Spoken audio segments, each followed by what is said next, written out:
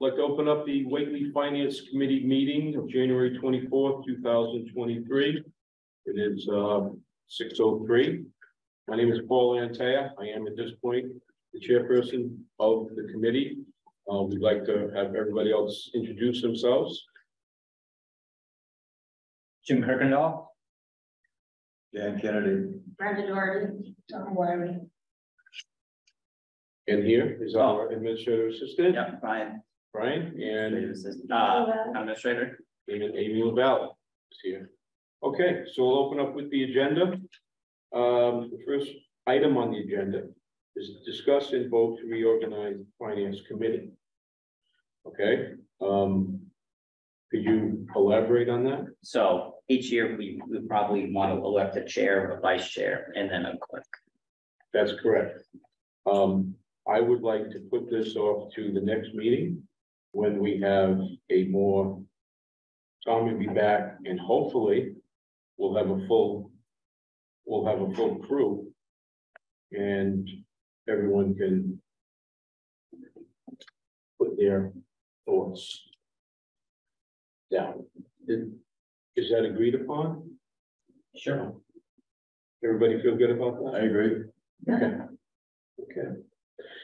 Okay, to review and vote to approve meeting minutes from November fifteenth, two thousand twenty-two. If we all had a chance to review those meetings, I make a motion to accept the meeting as written. Second. all those in favor? Uh, we have to take a. Do we have to take a, Um, there's no Zoom. We don't have anybody participating remotely. Joyce is on Zoom. Hi, Why don't you try a roll call anyway? Okay, to uh roll call for that vote? Paul Antaya, yes. Jim Kirkendall, yes. Dan Kennedy, yes. Brenda Doherty, yes. Donna Wylie, yes. Alrighty. Okay. So meeting minutes passed. Now we'll do a municipal finance overview and weekly financial trends. By our own town administrator, Brian Domina. The annual report, so to speak. The annual report.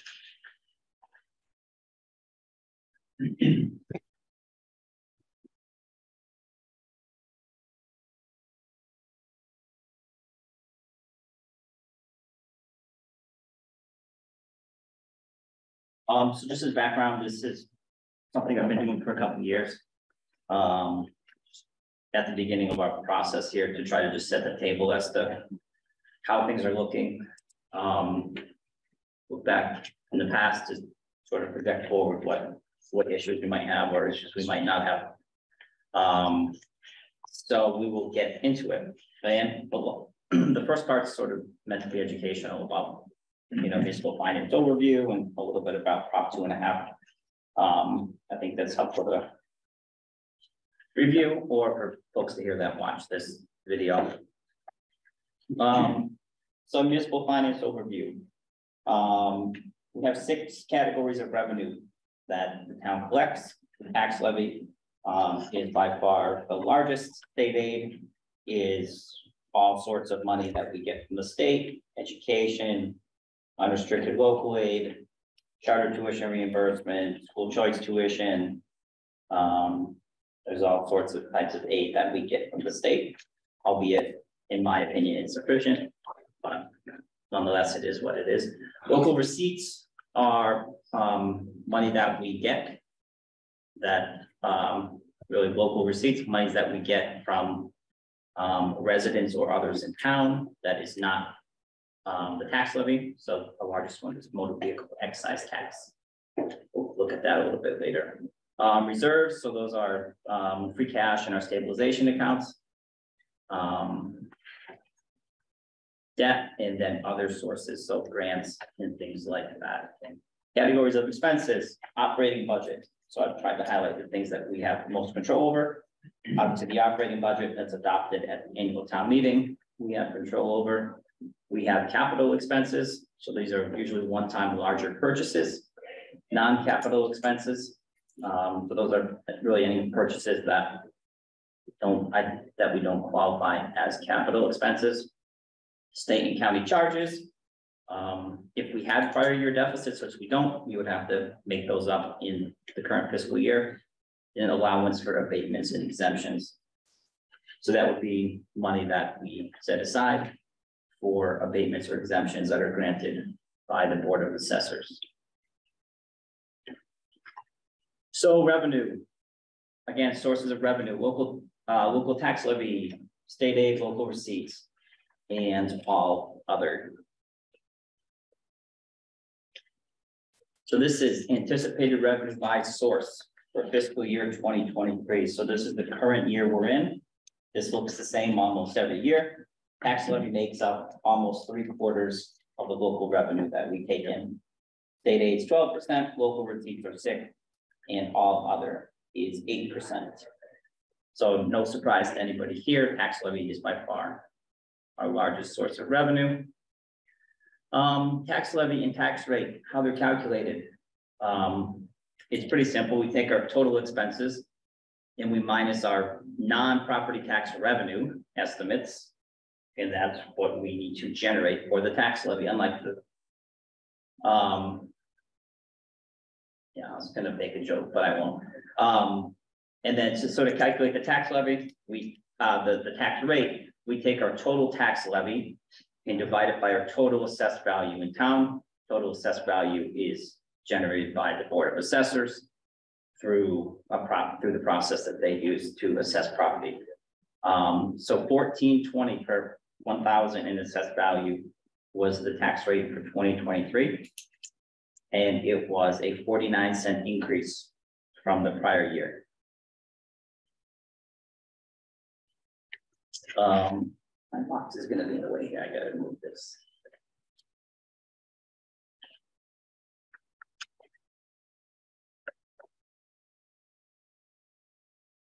Maybe it's on the other side. Ah, there we go. Alrighty, Too many computers. So look, the tax levy. Um.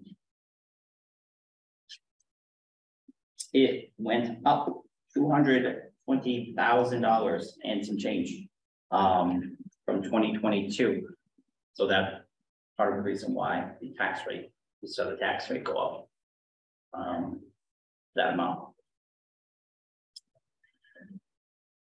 So you can see it kind of fluctuates a little bit, but um, four point nine percent increase um, is probably not something that we want to keep having happen. that's true. Um, so a little bit about proposition two and a half. As there's always a good deal of confusion about, about what it is and, and, and, and how it operates. Um, so generally speaking, it's a limit on the amount of new tax dollars that a town can raise from year to year. Um, so it creates what are called, uh, levy limits. It creates a levy ceiling and then a levy limit. Um, so the, the two restrictions are that a community cannot levy more than two and a half percent of the total full and fair cash value of all taxable real and personal property. So. Oh, it's the other way. I'll get to it after. And then the second one, so that's the levy ceiling. That is so there's a, a levy ceiling and it's an amount that we cannot tax above. Um, a levy ceiling, it's a hard ceiling, we cannot go past it. Um, overrides and debt exclusion don't help. Um, so the second limitation is what's called a levy limit. Um, and that is, um, a constraint that, that we can go past with an override or a debt exclusion. So really, this chart is what it looks like. Um, this is the levy ceiling. It's two and a half percent of the community's full and fair cash value. So our total assessed value, we can, we can tax up to two and a half percent of, of that. Each year that increases, so each year our levy ceiling in theory would increase. Municipalities and some cities have gotten into problems when their total assessed value starts decreasing um, and the levy ceiling starts coming down. That's not a problem that we have had here.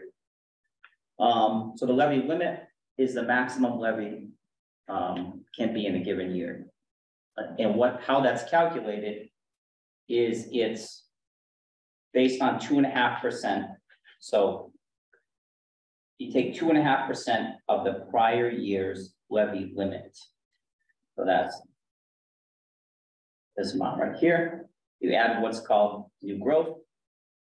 Um, new growth is, um, it's really you, the growth in your tax base from new buildings or essentially new buildings or additions. Um, so it's, it's not created from just the assessors increasing values on a certain category or certain type of house. Um, so it's, it's, it's what's called new growth. Um, so why that's important is it's, you take two and a half percent from the prior year's levy limit plus the new growth. Um, and that creates your new levy limit. Um, and the levy, so the levy limit is what we are able to tax up to. So our, uh, our tax levy was around four point seven million in FY twenty-three. And we could have taxed up to five point eight million. Without, um, the need for an override. This is one of the things I want to highlight, and this isn't in the, in the paper packet, because I was looking at it. So this is certified new growth, and this is a trend that's starting to worry me. Um. Because I think we could see it coming and certified new growth, again, that's for new buildings or additions, right? So in town, we had the industrial park here. We had Pine Plains Estates, where we had all this, where all this new building was happening. Um, so for, I, I think for a number of reasons, we're starting to see our certified new growth slow down. Um, and as you can see here, the trend is, is, is negative, right? It's twenty-three, it was forty, let's say forty-six thousand dollars. So that means our levy ceiling is growing slower, right? Um, I mean, our levy limit is growing slower. But we're not close to it. No, we're not close to it, um, but it's not going up as fast. Right. Our levy limit is not going up as fast. Right. Um, unfortunately, I think what's happening is our, our levy limit is going up slower. And, um, our expenses are going faster, so we're gonna start to see some, some strain on that, and it- it'll, it'll show up in the, in one of the slides here. Um. So in terms of prop two and a half, again, two ways to get above the levy limit are an override, that's for the operating budget, and then a debt exclusion.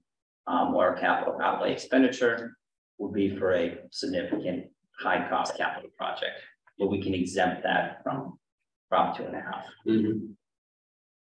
Um, so this is what I was talking about. We're, we're starting to see some pressure on our, what's called the excess levy capacity. And the excess levy capacity is, is the levy limit minus our tax levy. So it's how much we could, um, how much more in taxes we We could generate without needing to do an override. Right.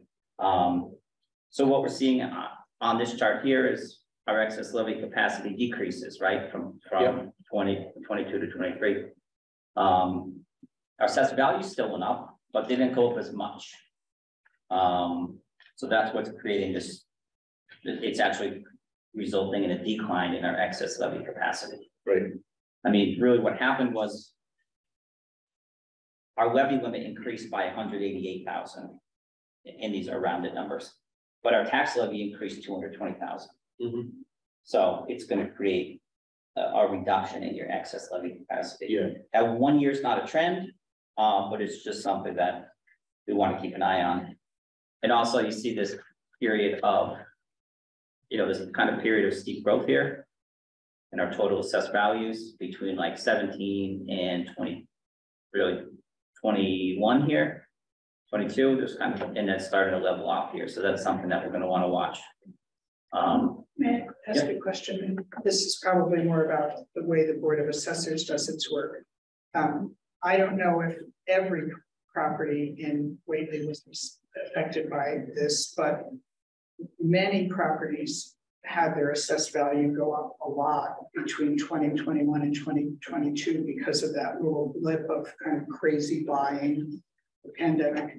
Um, Yeah. and if you go to not very reliable sources like Zillow, you know, that's gone. You know, it was just a blip. Yeah. Um, and, and Zillow is not a reliable source. But, um, I don't actually know how, I, understand that our assessors use in part state mandated, um, formula. I don't, I don't know when there'll be an accommodation for that, because it does seem to have been a blip and not. Seems like it's gonna go flat for a while, and it may even go down, you know, we It don't know, down. we don't know. I don't know. Which will only make this problem more acute, I think. Yes, but I don't know is how much. Of the decision making is in their hands. I, I, I don't either. I, I kind of think they are guided definitively by what Boston state guidelines they have. And, and as you said, the driver of this is the marketplace. Right. You know, what it was like following the pandemic and and where we are now, so we have very little to do but to watch it. Right. And, um, so Okay, thanks. Um, so this is local tax levy, so this is excess levy capacity compared to our surrounding communities. Whately is in good shape today, um, especially compared to some of our neighbors. Um. So it's a good spot to start from, and it'd be a spot that we would want to try to stay in. Um. Again, so as, you know, some of the things that, that, that influence this are, are property values and things that are outs- outside of our control. I think that's a handsome picture. right there. And I think a ten by twelve out in the hallway would be, would be, you know, proper. But others may not think that. Um, tax rates. This is my annual disclaimer that tax rates don't mean that tax bills, lower tax rates don't mean that tax bills go down.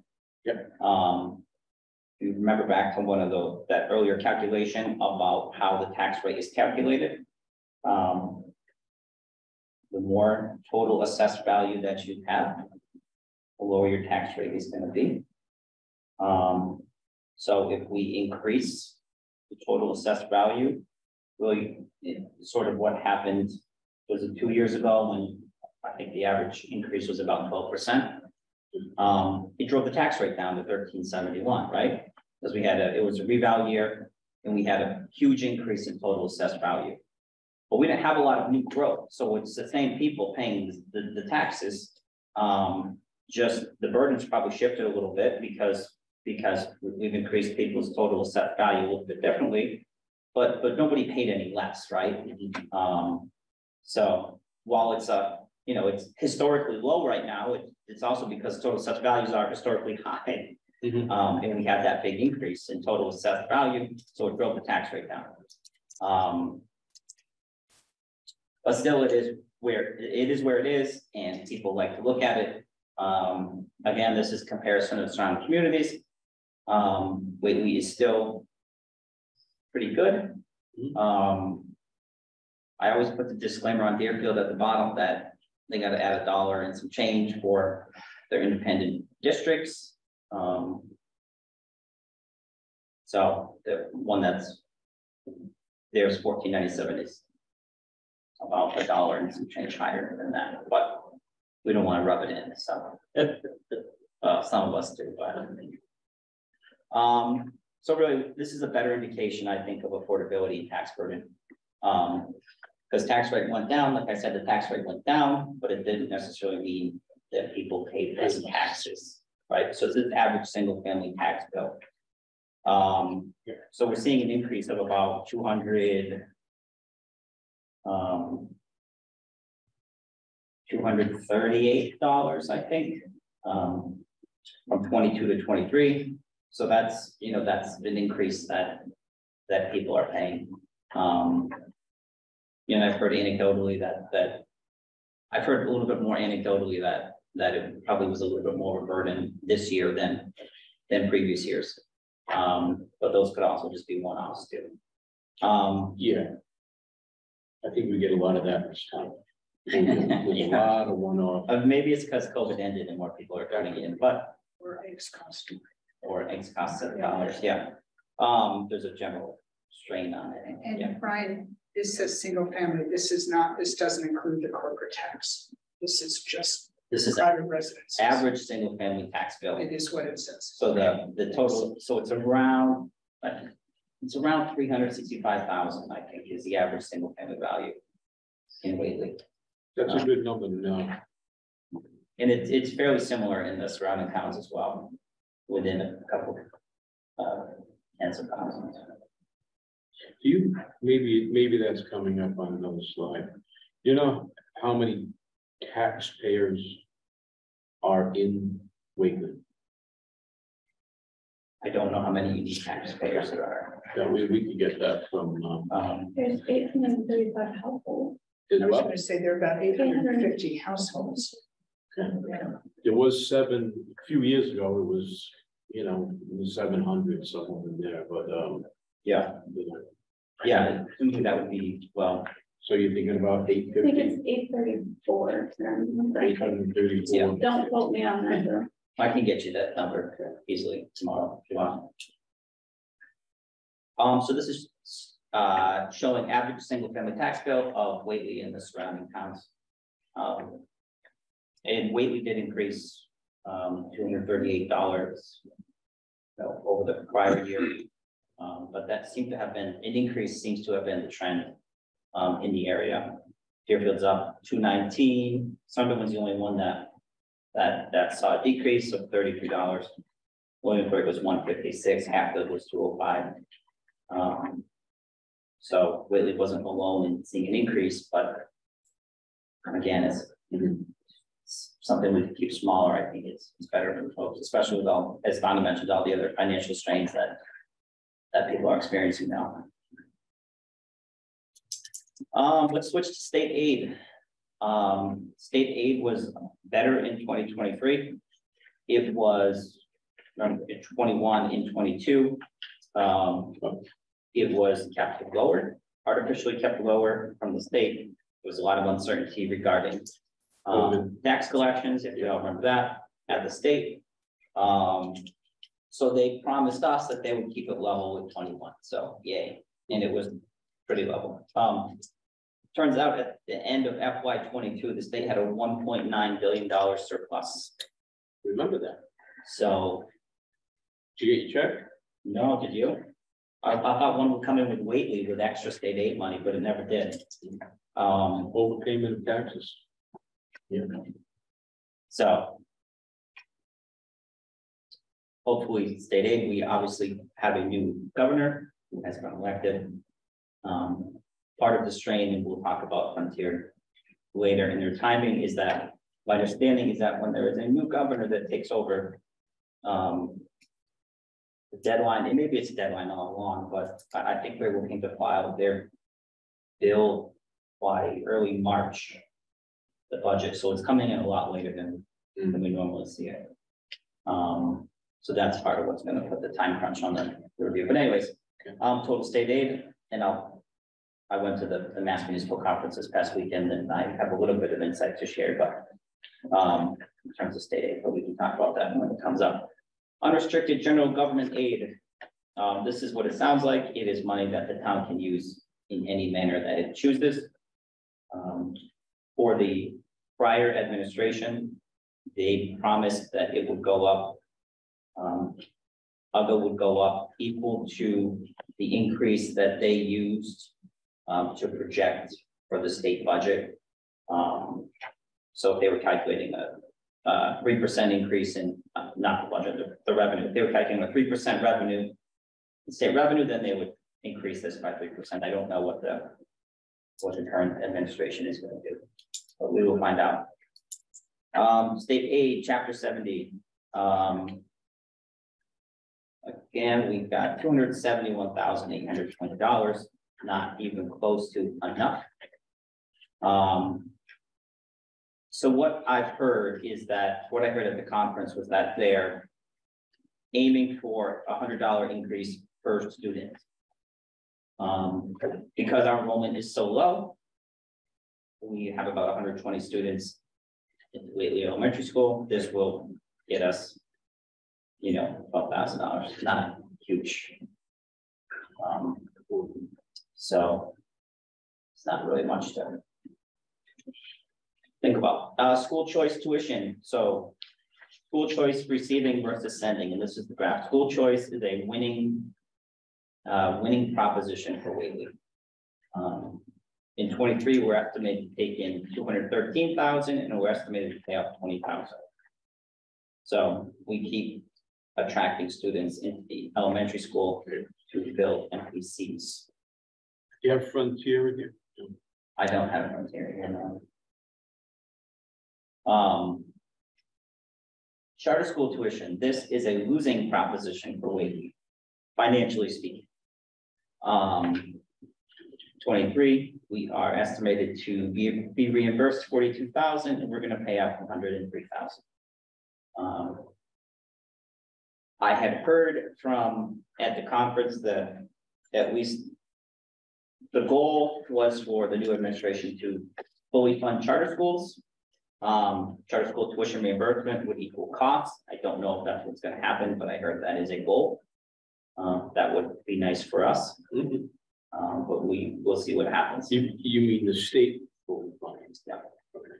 That's how it should be. And there was also, a there was also talk about a goal of the administration being to fully fund regional transportation. For the first, I think it's, well, for the first time in a long time, let's put it that way. I don't know that it's ever been fully funded. Um, like the law says it should be. Uh, so next class of revenue, uh, local receipts. Um, is what it is. We saw a little dip in, in twenty twenty-two.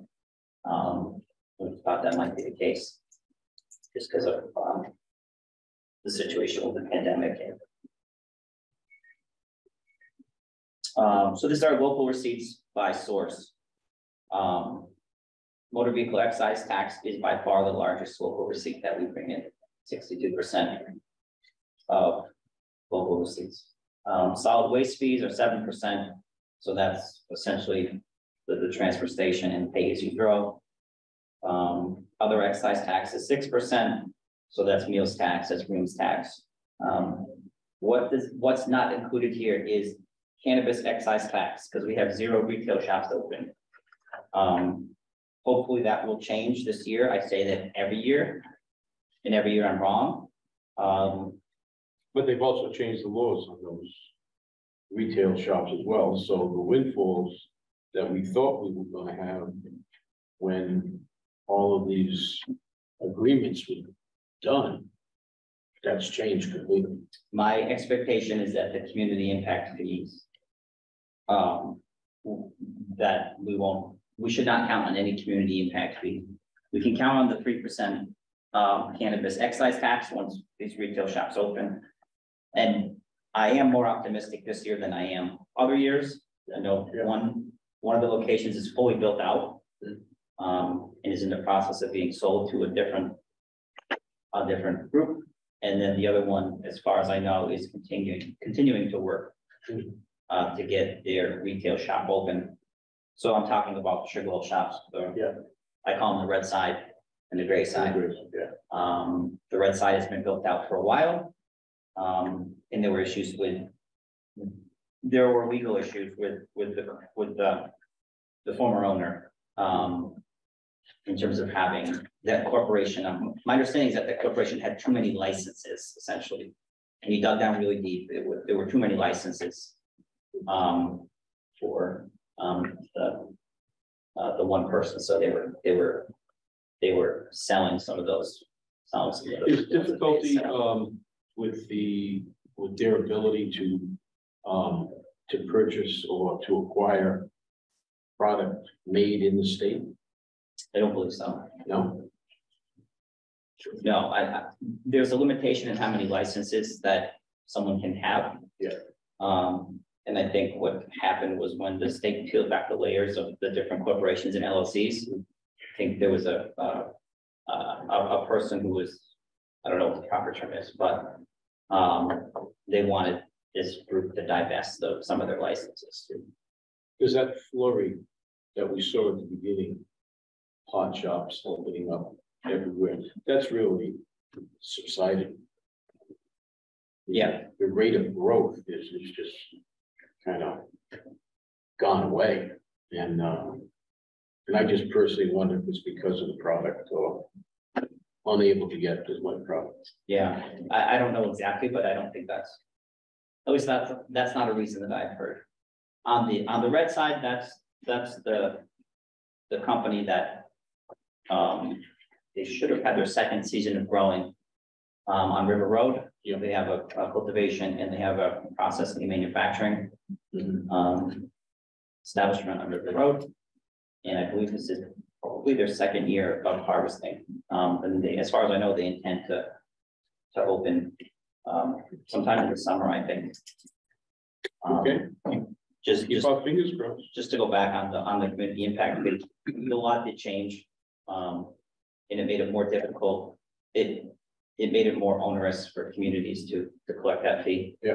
Um, and there- there's a lot of uncertainty surrounding that, so, um, I just heard at the conference that, um, the city of Pittsfield was, was recently sued. Um, for one point five million dollars to return community impact fees that they had previously spent. I don't know how that will, will play out in the Wow. courts, but, Wow. and I guess they're also being threatened with another. Another, uh, Sue. retailer to, to also sue them for their community impact fees that have already been spent, from what I understand. Um. So there's a lot of uncertainty here. Yeah, and yeah. For us, a lot of uncertainty or not a lot of money, so. Hmm. Um, it's it- it's something that, uh, I think this select board will have to grapple with in terms of whether it's actually worth it. Yeah. Um. And this is all other, so this is the last category, right? This is all other, a spike in eighteen and nineteen, so anytime, anytime we access. You know, our free cash or, or, or other reserve accounts, it's gonna show up here, so this was the town hall, historic town hall rehab project where. This, this money shows up as, as revenue, but it's money that we've already had in our accounts.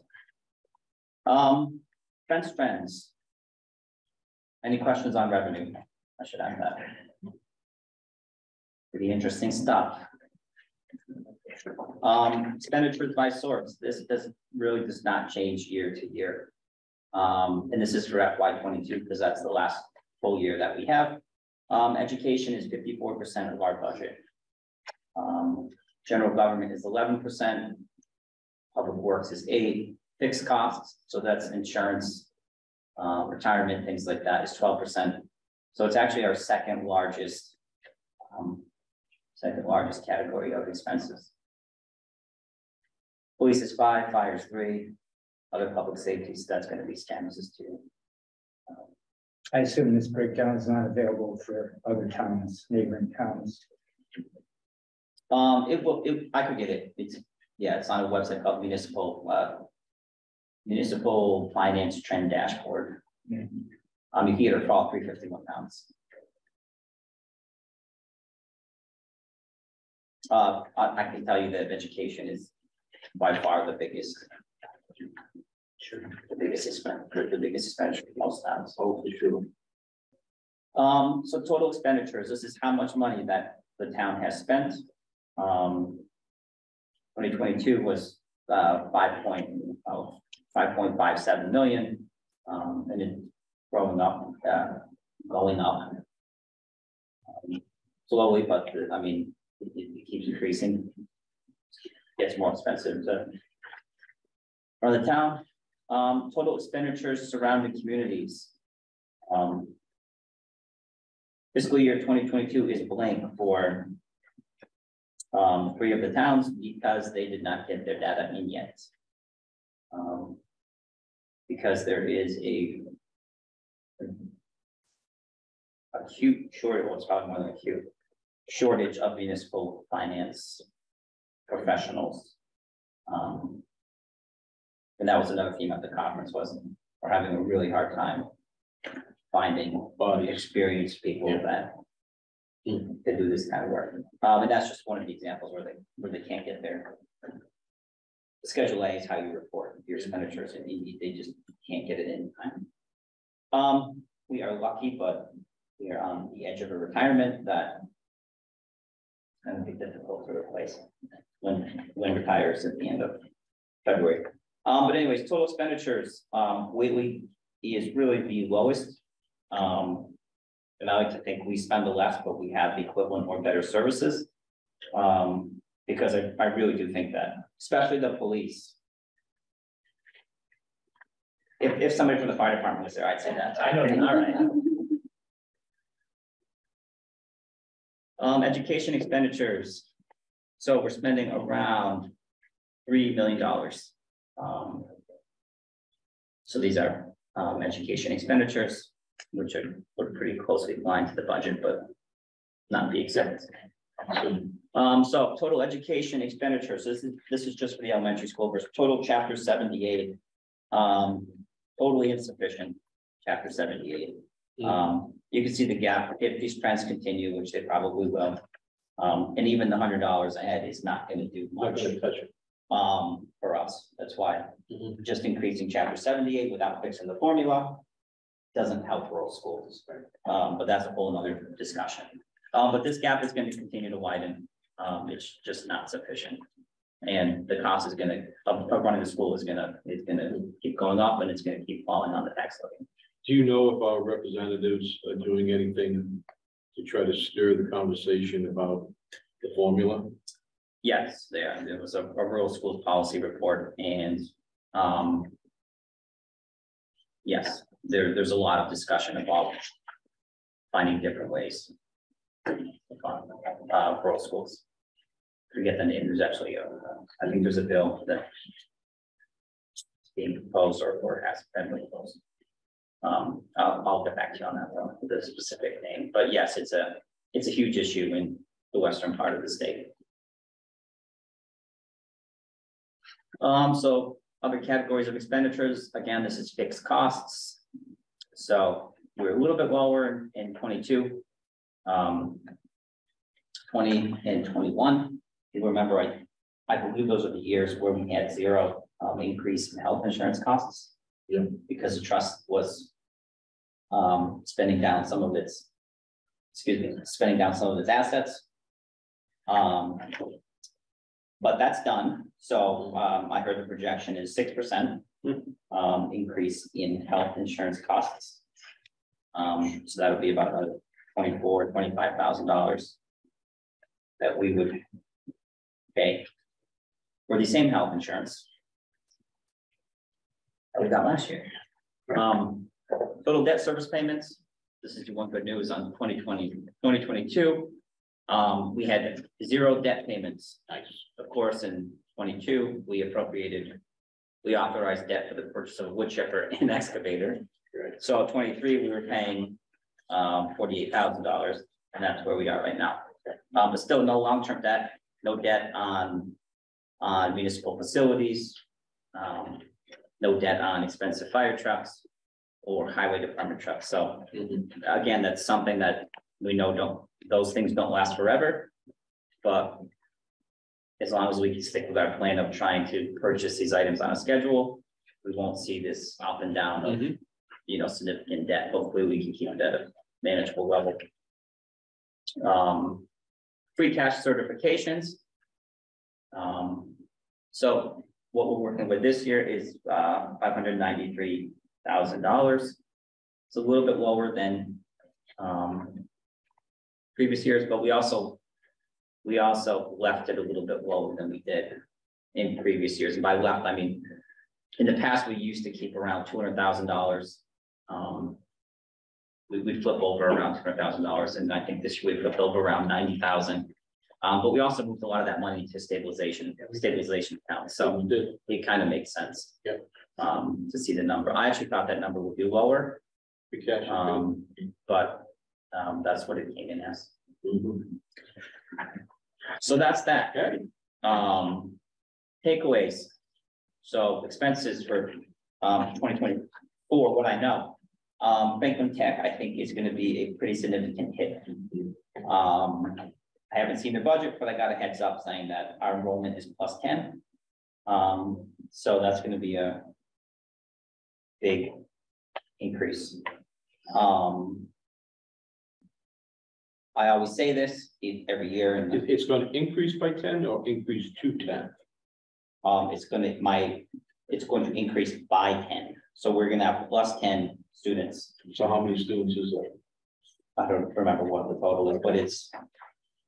It's uh It's a, it's gonna be a big number. Um, I don't know, if- I don't remember if he- he told me what the total enrollment is, but it's around eighteen thousand per student, so. Um, free cash to tax levy. Um, some people agree or, or disagree with this, but we spend free cash to reduce the tax levy. Again, we're, we're, we're spending a one-time. A, a one-time revenue source on recurring costs. It artificially keeps the tax rate lower and the tax levy down. Um, so depending on people's philosophies on that, that's good or bad. Um, but it's just something that we need to highlight that. If we can't spend two hundred fifty-five thousand dollars in free cash you know, to reduce the tax levy, then we're gonna see that the, the tax levy in tax, what people are paying taxes go up. Um. New revenue possibilities, I talked about the marijuana excise tax. Um, ARPA. So what we call CLFRF, uh, Whately received four hundred fifty-eight thousand dollars Mhm. in ARPA money. Um, we still have two hundred fifty-eight thousand um. Dollars in CLFRF monies or ARPA money that remains unobligated. Um, so last year we, we, we took a lot of the capital projects and we funded them through. Um, ARPA and I, and and we'll have to. Discuss how we want to do that We can do that again. this upcoming year. Um. So, and just when we talked about the certified new growth earlier. I've had this concern for a while. A lot of the, the, the areas where the town had been growing are full. Um, Pine Plains Estates, you had the houses on Dickinson Hill Road, the really expensive houses up there. Um, the industrial park is essentially full. There's a vacant lot down here that's owned by Covestro Bayer, uh, but they have no interest in, you know, that's future expansion for them, Mhm. hopefully someday, hopefully for us someday. Um, so we need to find areas where growth could happen. Um, one We, meaning the town? Yeah, I mean, the town overall. Yeah. Right, um, so we do have a planning study that, that received a grant for, uh, to look at the exit thirty-five area. Um, so from the diner north to the, uh, the Deerfield Town Line. Um. Okay. Bordered by, you know, well, the town line is sort of the railroad tracks, right, so the past railroad tracks, but the railroad tracks. Uh, to go north, uh, we can't really go south because it's really wet. Yeah. Um, so the idea is to look at some of the area around there. Um, to see, you know, to see what could happen, if it could be developed or redeveloped, right? Um. Because at the time, we, we thought about exit thirty-five, the, the sugar shops were still essentially, essentially empty, right? Mhm. Um, but there was some, some. There was some, some minor, Yeah, What about south on five, five and ten? Any? once you get past the diner, it's pretty much the great swamp. I mean, what about past that though? When- you're heading down towards, uh, Then you hit Zanoni's, yeah, um, you hit DeMaio. Um, and as you go further, I mean, that's, right now, that's not zoned. As you get Well, further south. so it brings us to the question, where are we with, um, the DeMaio property that the town owns and moving forward with that somehow? Um, I have the impression that the, well, I'm told that the Conservation Commission thinks that property, I mean, they're cattails there, it is wetland. Yeah. You know, it's, uh, you don't have to be a scientist to know, Yeah. just look at what's growing there. The wetland can be changed. They've done with that. So, so there is a, um. As, as part of a, as part of a, a, a grant, we do have a, um, a wetland delineation that's gonna happen there. Um, and they're gonna develop scenarios where they could actually, we're gonna look at words, what's actually developable or not, in that spot. um, on, on the Demile lot, yeah, yeah. When? Sooner? Um, yep, I had this, uh, a scoping session with the, uh, the engineering firm VHB last week. Um, so that'll, that'll give us a better idea of what, how much land is actually available there. concerning septic and that kind of thing. There's water, but there's obviously no sewer, so. Um, While we're talking about businesses, um, I'm sure I'm not the only one who woke up to the news from, um, Yankee Candle, which in fact doesn't sound bad for us, but the initial announcement sounded scary. How, how vulnerable are we? What share of our revenue does Yankee Candle produce? um, I don't know that off the top of my head. About, Is the plant gonna be affected? well, apparently not. No. It's apparently all South Corporate But, the- but the- The this is the second time that parent, new parent corporation has downsized in a few years. I'm just. I mean, it's a point of vulnerability, right? Mhm. It's, it's a big Yeah, it, it is, um, Do they pay a hundred thousand? Do they pay fifty? No, No, they pay a whole lot less. Um, my understanding is that they. I, I wanna double check this, but my understanding is that they don't pay personal property taxes to the town. So it would be, it would essentially be real estate taxes they would pay, and, and, and while the building would still be there, so there would still be some, there would be some tax revenue. I think the. Um. I think the- the harder impacts would be the, the, the fallout from it, the loss of, the loss of jobs and. Um, things like that. Um, But I mean, they do, I, I'd have to look, and, and we were talking about it in no, the tax that, that's what I was hearing. asking in general, not. not- But, I mean, the three largest, the three, the three largest are, are Yankee, Berkshire Gas, and Covestro, yeah. But I'm still not, I mean, I didn't.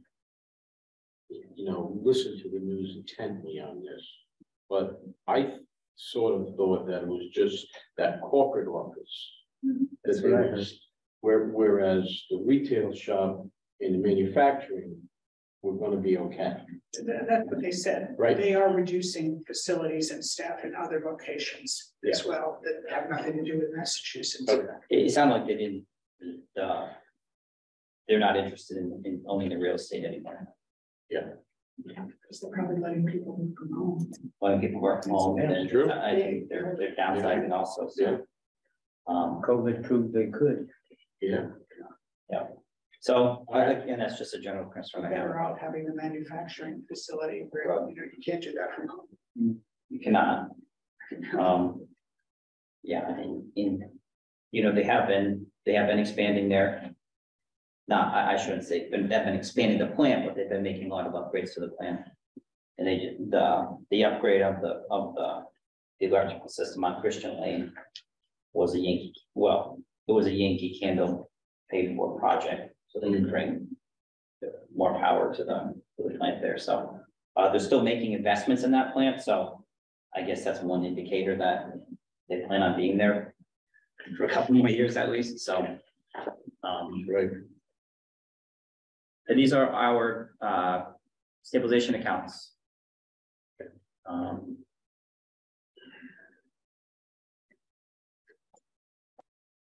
So that's where we are with those. that looks all good. Um, one of the things that, um, we're hopefully gonna start work on is, um, a feasibility study for a new highway garage. Yep. Um, you know, and so I'm, I'm gonna be meeting with a couple, um, of the engineering firms that have done some work in the surrounding towns over the past five to ten years that were recommended to me to try to get a handle on what those costs would be. Yeah. I think the general takeaway, Brian, and tell me if I'm going down the wrong path here, but based on things that we've seen, is that new growth is kind of plateauing. Our costs continue to rise. And we, we want to avoid not having a gap there. So it's it's gonna be, uh. It's gonna be, you know, finance committee working with. You know, the rest of the town, I think, to, uh. To see that expenses. Are keeping pace with. What we can pay and trying to keep us away from that point of. Um, not having. Um, the cushion of that new growth. As we move forward. So when we look at new initiatives. And when we look at, um.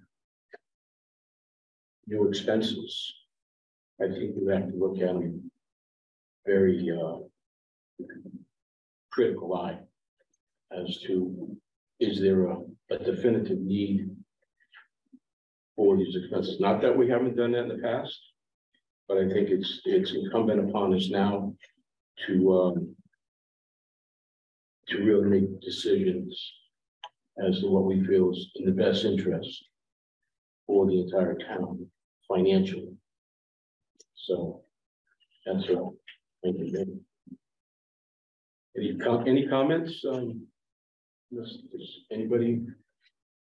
Wanna, I had one comment. sure, Um? I just, I'm always impressed with um, the presentations that Brian does, and I think one of the reasons that we're in such a good position is because of the quality of the people that we hire, the people who work for the town. We have a pleasant workplace and people get along with each other. Um, we unfortunately lost Hannah, um, who was sort of bringing in, I don't know, N times her salary, where N was a pretty big number um, in terms of grants. Uh, I think one of the things Brian mentioned that uh, being able to do the wetlands delineation at the DeMaio property was uh, at least in part funded by a grant that Hannah got for us. So I, I just want to um, say that eh, as we go through this budgeting period, that we should keep in mind that uh, our top-notch employees are one of the reasons why we're in the position that we're in. And I hope we will keep that in mind and treat those employees well, as well as we possibly can under the constraints that we have. Thanks. okay, thank you. Um, I forgot, can I say one more thing? sure, Because I did total up, so. Yep. Um, FY twenty-two was the first year we funded the community development position. Um. And we found somebody in October of that year, we found Hannah, who has since left for Somerville. Um, for quite honestly, double the pay. Yeah. Um, it's, it's a, it's something that we as a small town will always battle. Um. always, And, you know, I think my understanding, and Amy can correct me if I'm wrong, it was a fully remote position for really about double the pay, so, um, nobody blames her for going. Um, but so since beginning of FY twenty-two, the town applied for and received a total of seven hundred eighty-five thousand dollars in grants. Um, so that was a number of grants that are gonna really help us. Um, and really, we, it, that position cost us over that time period, hundred and twelve thousand, that's looking at salary and benefits, so. Yeah. There's a lot of, there's a lot of grant money that's out there yeah, at both the state and federal level. Um, and it's, a lot of other towns are starting to realize what we, what we realized two years ago was that. Hmm. If you invest in a position like that, it's gonna pay back multiple times. Um, I agree. I so, agree. I also think that, um, yeah, in regards to, um, uh, you know, a position like that, position like that is very competitive. And we may, as a town, have to say that we want to compete in that space. And that, um, we will appropriate certain monies for that, for that person. I also think that salaries should be, there should be a zero, uh, there should be a finite, there's gotta be a cap on it. There's gonna be a cap on salaries. So, um, salaries and positions have certain values. I don't know what those are. But that position you're speaking about and position of an aide in the elementary school. Terms of value to the town are different. And so are the values of most positions within the town. There's a certain value to the town that those positions have. And I think we need to take a hard look at that. And as a town, say, we are gonna increase. And I don't know what that number is, but we need to increase our salary pool by X. And we have to live within that X. And that if this position requires more funding, then other positions have to be modified in terms of increases. Because not everybody is gonna increase exponentially over time. And I, I, I just think as a town, that's something we need to embrace. Um, there are key positions. And there are positions that are not as key. So.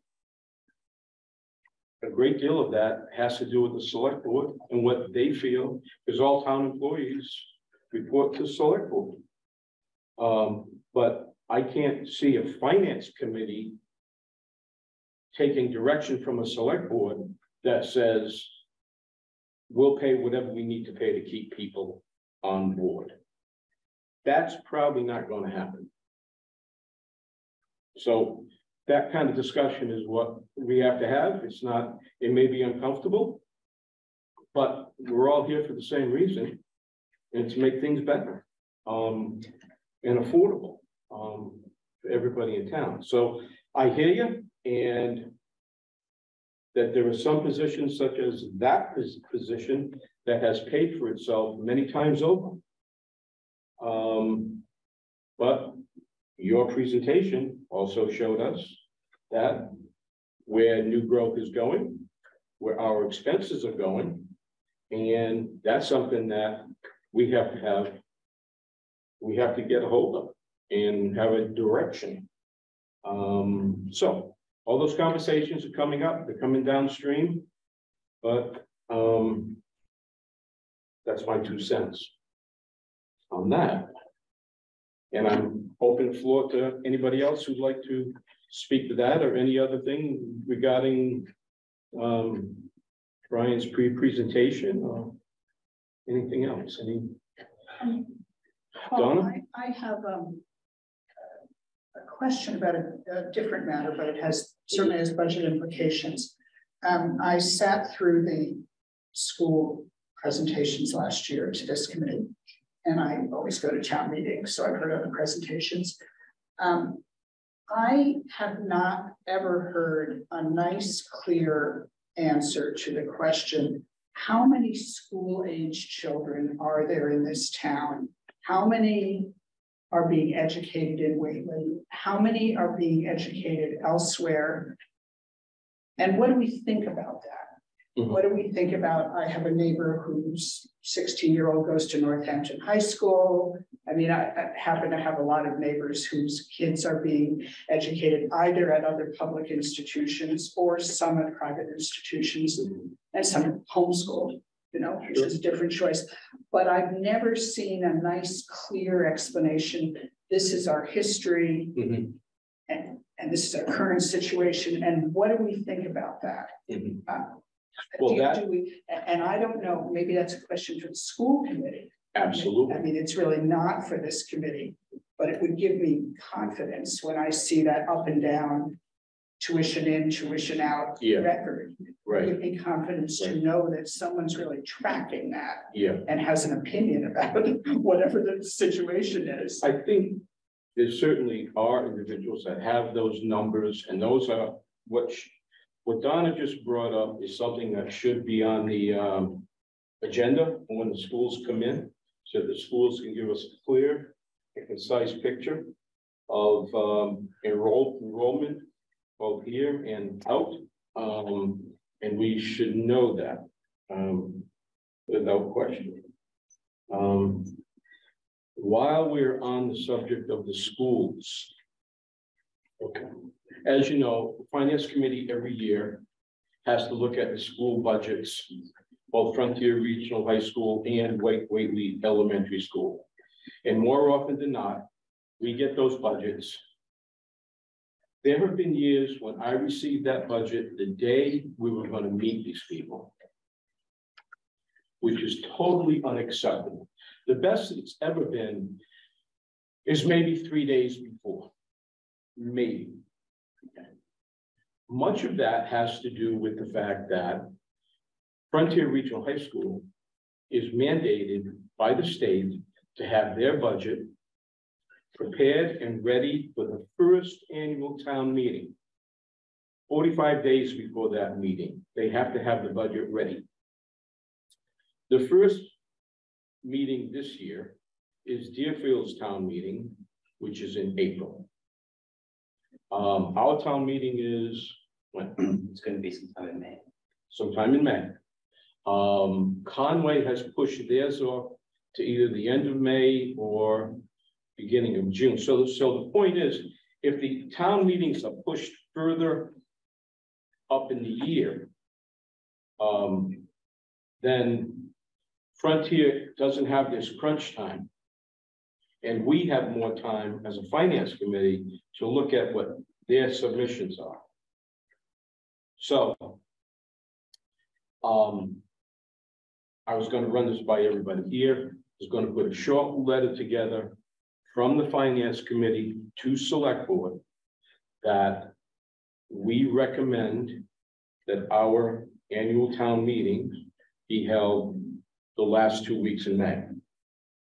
Now, I don't know when, when are they planning on having it? This, So they voted to, to, to extend it to, to sometime in May. My, I mean, my recommendation, I think, is, is May twenty-third.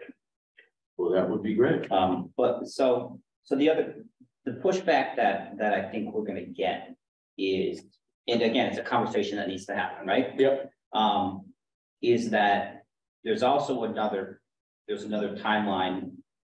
If a town needs anything related to Prop two and a half.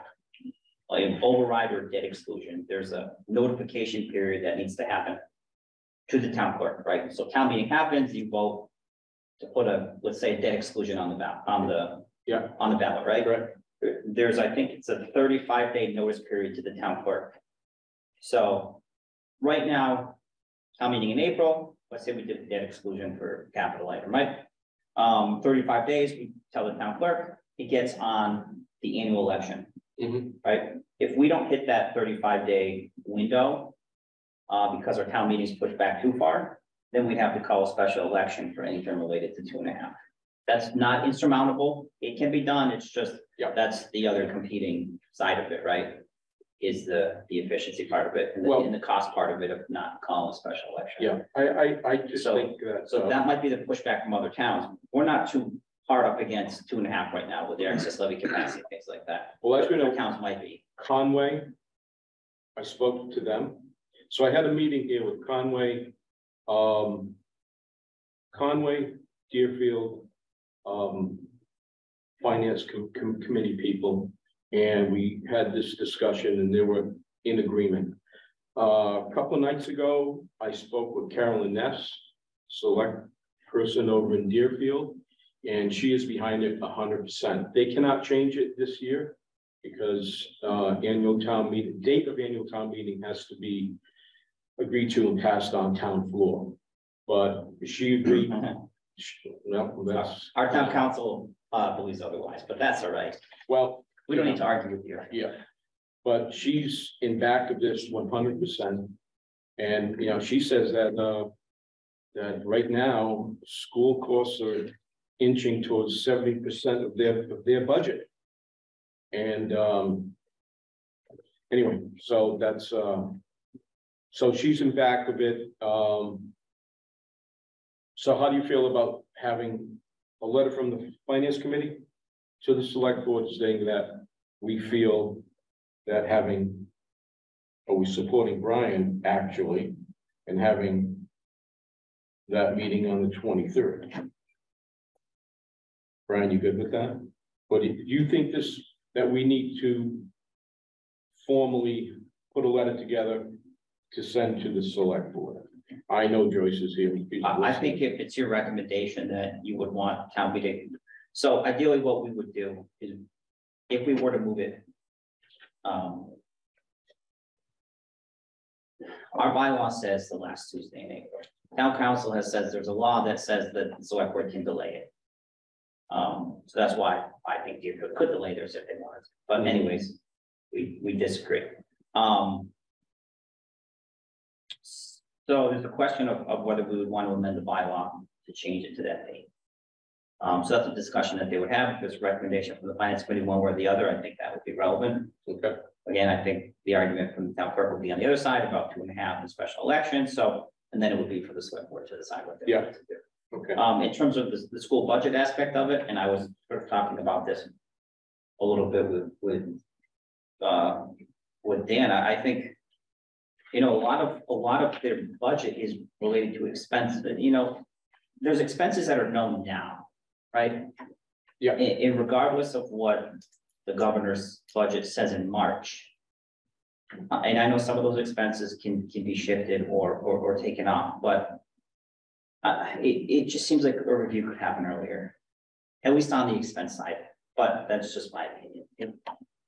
I, I don't know that people need to wait until we see the, the, the governor's numbers because, because the, because those aren't certain either until the budget's adopted, but um, that's. just my All I opinion know. On it. All I know is that the people of the town of Whately do not have any board um, with critical oversight on any school budget.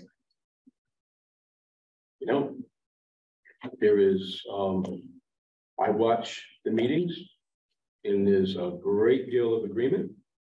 Um, and, and Anyway, and by the time we get the budget, in order to make a change in that budget is uh pretty much too late.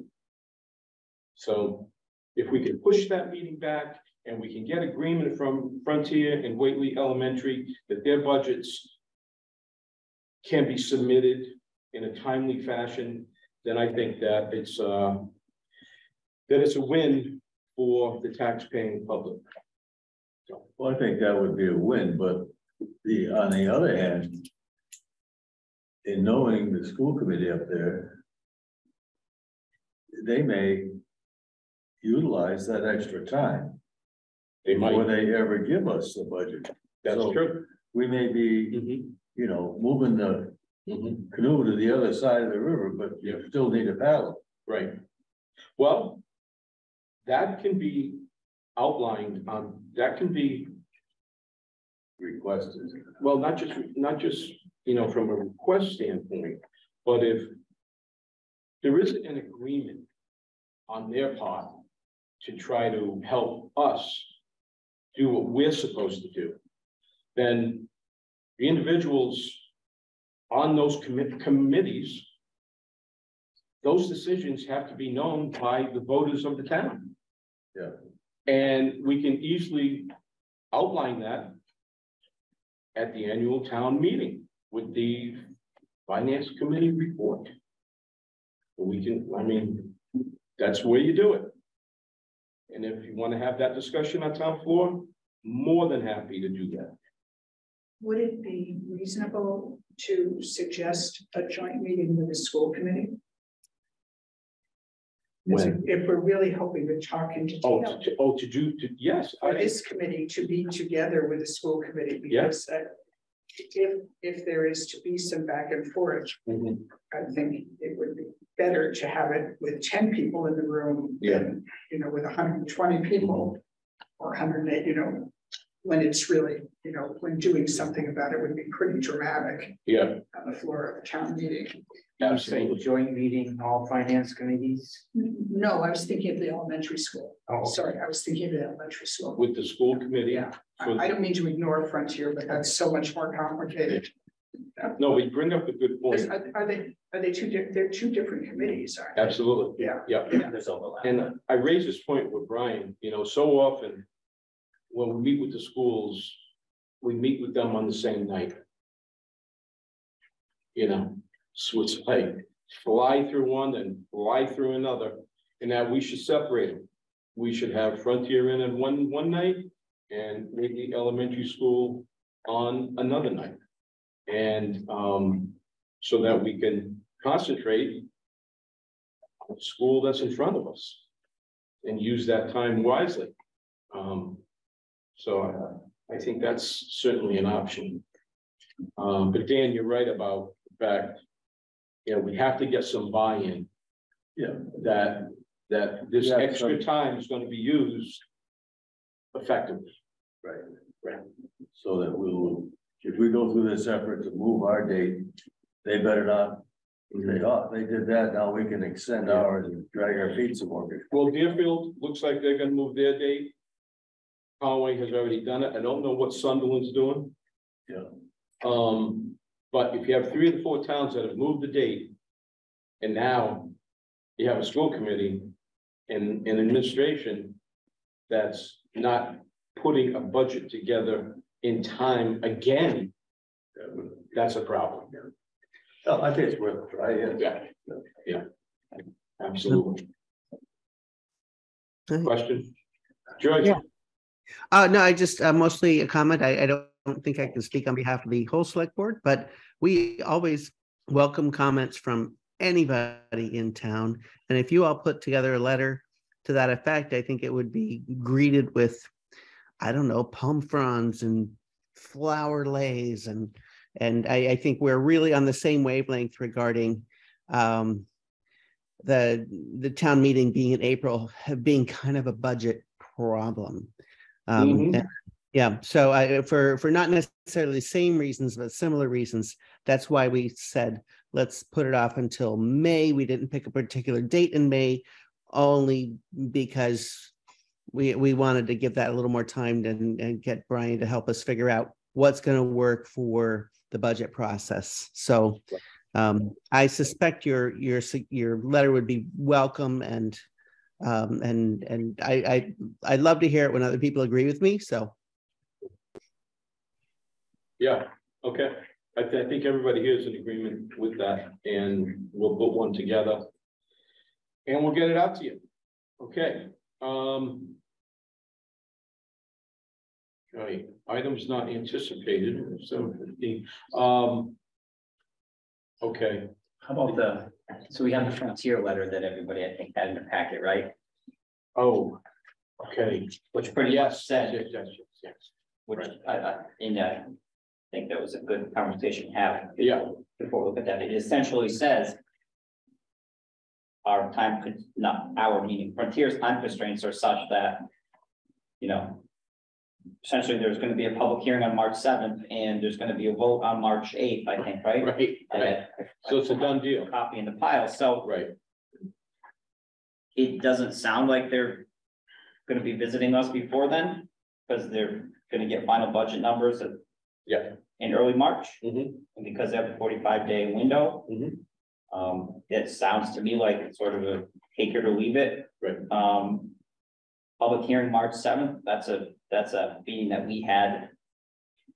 Um, We had planned, reserved, right, um, as, as, as a date. Um, I think we could, if we wanted to. Scratch that March seventh one and just plan to.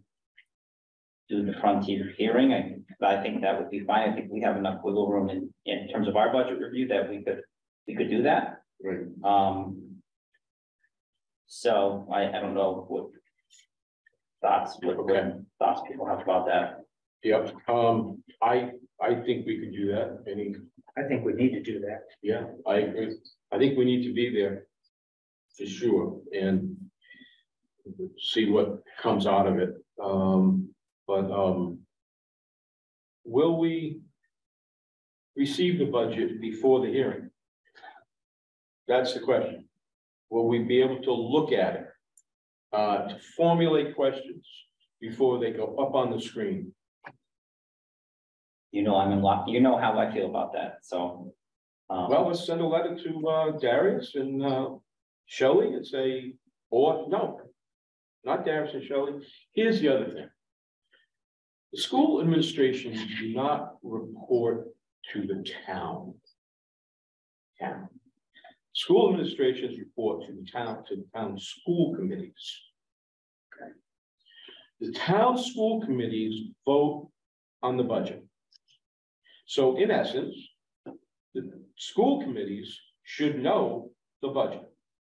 So the school committees could, should come in here and have that discussion with us about the need for the dollars they're asking for. And whatever questions we have regarding that budget, we should be able to ask them and they should give us an answer.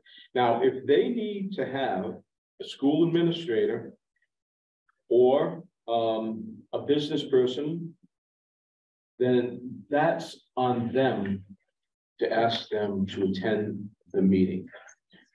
Um, now, Brian, I don't know if that makes more work for you or less work. I'm not sure. What do you think? Well, I mean, as it's been in the past, the most I can do is make a request and. Well, you know how those have gone in the past. To, Um, right, but if you request to the chairman of each of those committees, rather than the, right, rather than the actual administration, um, and have the school committee make the request of the administration, I think that is how that ball needs to bounce. Oh, if there's a chain of command there, that's what we should be following. Exactly, that is the chain of command. I'm not, based on experience, I'm not sure the results will be any different, but I'm willing to try. But what if the request went directly from the finance committee to the school committee? I Do do that. that, this is the school committee, so the- this is just my. Yeah, opinion. yeah, yeah. And, and I don't have, I, I would prefer to get it much earlier. The school committee is dependent on the administration for the budget. So the administration doesn't have it, it's in the school committee's not. Right. And I don't think, then I don't think it, it, it sounds like, at least in terms of Frontier, it doesn't sound like they're gonna have something that, that is gonna be available. Much earlier than that. Um, now, there needs to be, and there's going to be Frontier Committee. There's gonna be Frontier School Committee Budget Subcommittee meetings. There was one already, So, I missed it. so the budgets. They looked at something at that meeting. I don't know what it was, but that should be public record. Um. So if we wanted to take a look at that, that should be something that should be accessible. I don't know what it is. Uh, in the past, I've been reluctant to. To release it, but if somebody or some committee. That starts with finance committee, wait, we wanted to push the envelope and request those documents, they would. Have to be released. They would have to be Yeah. provided. Freedom of Information Act. Right? Yeah, that's worth a try. It's worth a try. Um, there's, there's a, there's a, uh, a tremendous reluctance with that. Um. You know, to, to give up those. At least in the past, and I'm not saying anything that, that, that's. Yeah. We haven't already experienced, right? Is Um, Bob Halla still the chair? Yes. I believe the Whately, I, I believe the Frontier For chair Frontier. and vice chair of Frontier are both Whately representatives. Yeah. Which again, might not also. The Whately School Committee, make other um, towns too excited. Maureen Nichols is the chairperson for Whately School. of Committee. the Whately's. Now, I don't think we'll have much of a budget crunch with the elementary school because we have, there's not that same forty-five day requirement. Right. Um, Okay. All righty. and I, and I don't know if at that budget subcommittee was a, full budget or not. I have, I have no idea. Yeah. But presumably that, that budget subcommittee needs to put something together to recommend to the full committee, so. That's just one approach then. Okay. Um, So do we agree we're going to attend the public hearing? yes. I mean, I, well, let's take a vote. We should that. attend the public hearing at least. Um. What's on the floor is, um, do we agree to, um. uh, Move from our March seventh meeting. To the school committee meeting at Frontier for all those who want to attend. Paul Antaya, yes. Jim Kirkendall, yes. Yes. Brenda Doherty, yes. Yes, Okay, so that's what we will do. Yeah, so I'll, I'll, I'll, I'll post the, I'll post the meeting so you guys can meet there as a committee. Okay, all right. Say whatever's in your heart, Okay. or not, Or because it's not. recorded. Yeah, okay. All righty, um. Are we good with that? We good, okay, the agenda, we're pretty much done with the agenda. The only last, one thing I'd like to, uh, to take a look at is our calendar moving forward. Uh, I know we talked about the seventh. Obviously, today's the twenty-fourth. We have a meeting on February seventh, February twenty-first, March seventh is gonna be, is now gonna be the Frontier meeting. Then we have the twenty-first of March. We have April fourth, April eighteenth. Then we have a contingency of, um, May second. Um, and May 9th is the select board regular meeting. Okay. What's that got to do with us? Well, that's when the warrant signed, so, Okay, that's when the warrant's signed. Yeah. Okay, so of the, um. One, two, three, four, five, six, seven, eight meetings, the. The, um, the finance committee is meeting by themselves. As a group. As a committee, one. Two. Two times, right? Is that? And um. How did you structure structure that? What was the uh? What was the um? The guide? um, so anytime that we have, um. Essentially department heads coming in. Yeah. to Talk about the budgets. Yeah. Um, that's when we wanted to have the joint meetings, Okay, so that there wouldn't, so that there'd be. The information would be heard by everybody okay, involved. Okay. So you wouldn't have to make them come back twice. Right. Okay. Um. So we are meeting, so then essentially, as a finance committee. We will be voting on the eighteenth. Um. On the budget. So that's a, that's a must date, and then. If need be, if we need to carry that vote over, we can do it on May second. Um, Yeah. Okay. All righty, and, um. That's it. That's it for me, huh? Brian, you have? Anything you'd like to? Brace us with? No? Um, any, any progress on the sale of the corner school of the, um, school? Responses, responses out are due. In, uh, January thirty first. Thirty fifth, thirtieth, Do we have any? I'm not as of- optimistic. Do we have any as of today? In the, in the event those do not materialize. There's no interest to do. That. What direction do you think that's gonna go in? Private sale? I don't know. It's a discussion, I think, for the select board to have. Um, We done? Alrighty, And make the motion to adjourn. Thank you. all those in favor? Paul Antaya, yes. yes. Dan Kennedy? Yes. Brenda Doherty, yes. yes. Yes. That was, that was Donna, yes, okay. Adjourned.